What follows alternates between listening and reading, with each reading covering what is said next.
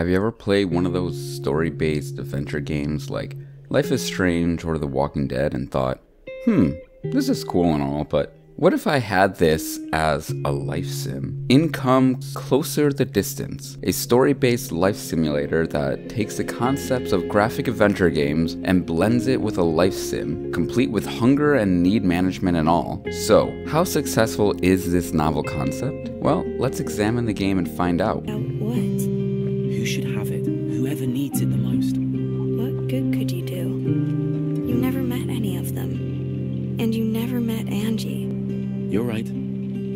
Musician, I have a good ear.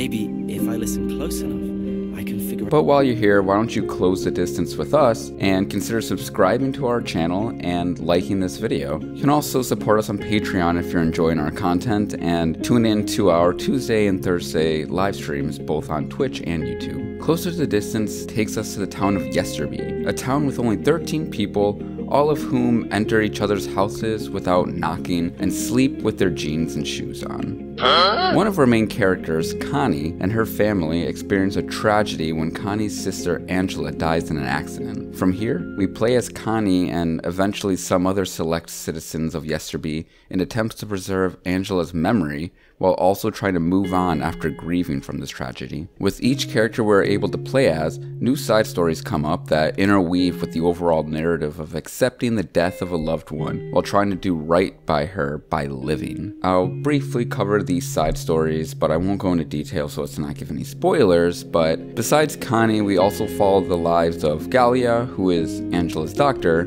Zek, who is Angela's boyfriend, River, who is Angela's supposed best friend, and Lao, some creepy traveling musician who thinks he's some sort of white knight who's going to fix the lives of people he's never met in a town he's never heard of. Galia is dealing with the stress of balancing her relationship while also trying to help her best friend, who is Pia, Angela's mom. Zek becomes depressed and lost in life and can't accept Angela's death, but also feels like he has no place in Yesterby anymore. River is trying to help her dad build a boat lodge to grow Yesterby. Lal is just Lal, trying to give Angela's camera to someone in Yesterby, and he thinks he's helping, but everyone kind of seems to hate him. Out of all of these stories, including the main narrative with Connie, I think Zek's story was the most interesting. His relationship with Angela seems the most fleshed out and well written, and his desire to leave Yesterby actually mirrors Angela's own desire to leave as well and this is something her parents refused to understand and support, actually prompting Angela to leave the night that she died. The story I liked the least was the boring boat lodge storyline, which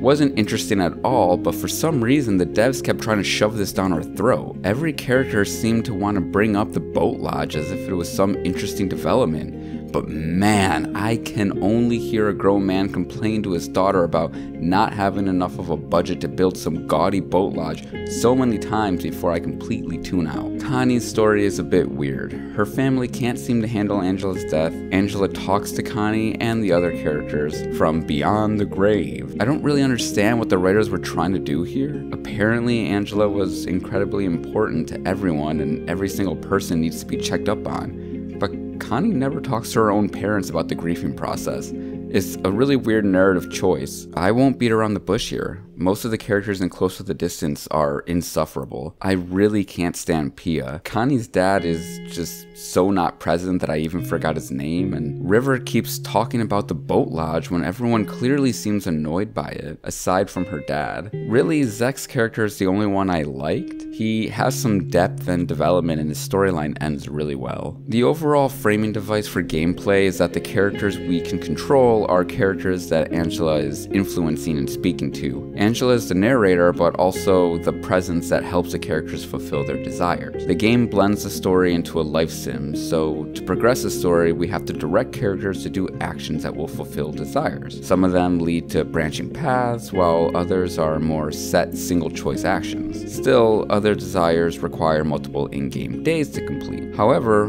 we do need to manage the character's basic needs as well in order to keep them happy and ready to fulfill the actions. If these basic needs, such as hunger, relaxation, and sociability, are not fulfilled, characters will tend to drop the actions that fulfill desires and instead go off and do something on their own. The kicker here is that when they go off and do something on their own, it often seemed to not be things that fulfilled these basic needs. Usually they just sat around. Connie specifically started to get really annoying because she kept going to write in her journal Meanwhile, she was starving, which is why she wouldn't go talk to Zek's dad about making more friends, because for some reason that was very significant to Connie getting over Angela's death. NPCs and playable characters that you aren't currently controlling go off and do their own things in the world. You can freely move the camera and follow whoever you want, you just can't control everyone you want. Every so often, some important story event will happen. This is noted by an exclamation mark over the character's portrait. This can get overwhelming when multiple important events are happening at once. I've had upwards of three at a time. Some events seem to expire while others seem to wait for you. Regardless, I sometimes felt like I was missing out on parts of the story. In the late game, this ended up being fine as I started favoring Zek's story anyways and paying attention to his most of all. Still, the multiple storylines and life sim gameplay is interesting, but I feel like these systems clash and often just leave you either not progressing the way you want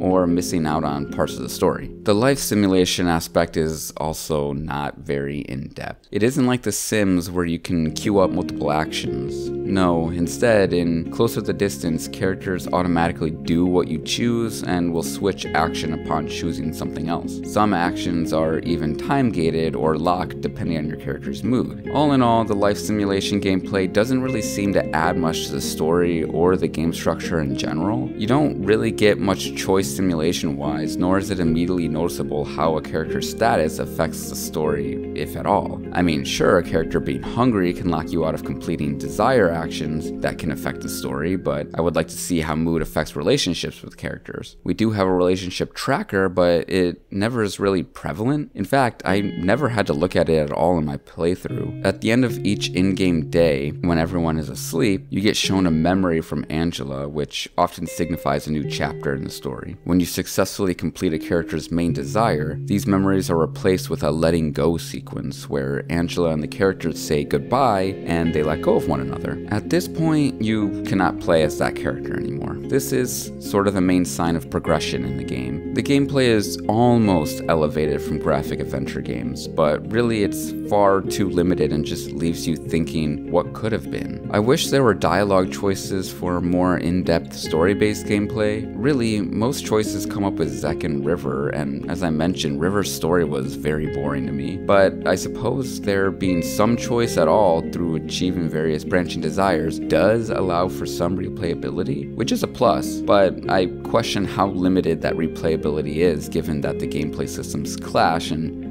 just lack depth. Closer the Distance goes for a muted cel shaded look. It kind of reminds me of the game Ashen, where colors are dull and characters are blocky, almost clay like. They also don't have facial features, but this worked for Ashen since it was an aspect of the game's setting, plus there were flashy animations during combat which made up for things, along with a beautifully made world. Closer the Distance doesn't have much going for it. The town is bland and the character models look ugly and lazy. The character animations are gross.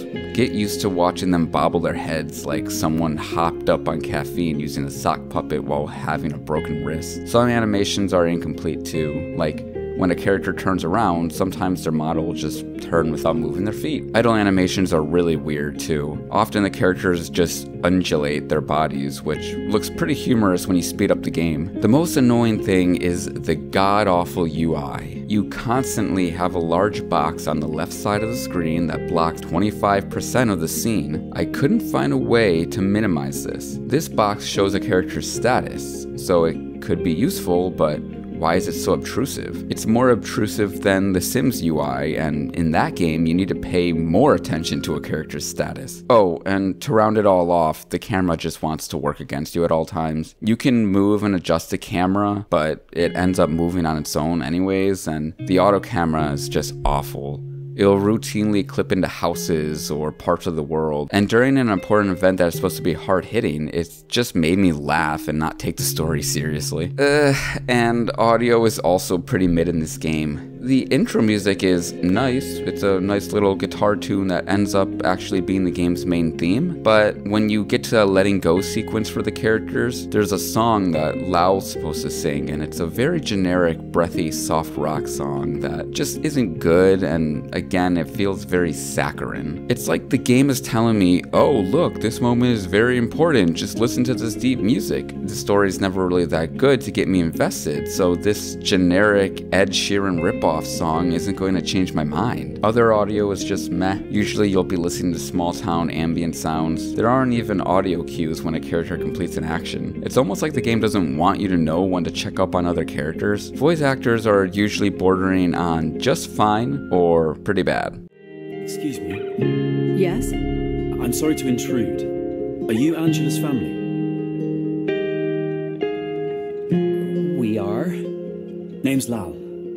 I travel from town to town to play my guitar and gather inspiration. I wonder if any of these voices are actually AI generated or done with only one take because these just don't sound passionate. Voices often sound like first readings without any real character behind the voice. Okay, so I guess it's fair to say that I don't like this game. I will say that I did get into a meditative state when clicking around trying to get characters to do actions, but it doesn't come full circle to have any depth. All in all, this game took me about 7 hours to complete, and I lost that meditative feeling at the 2 hour mark. Stories aren't that great, aside from one which is mainly good in comparison to the generic Hallmark and Lifetime original movie level of writing that the rest of the game has. In fact, the stories are often confusing. I'd say that fans of graphic adventure games would like this, but I don't even think that's true. Why? Well, the whole story ends poorly and in an unsatisfying way. The side stories don't really come together, and character relationships don't show depth in the end. Because of this very poor story, I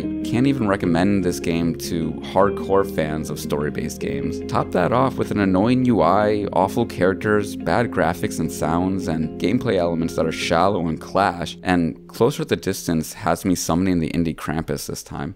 Huh?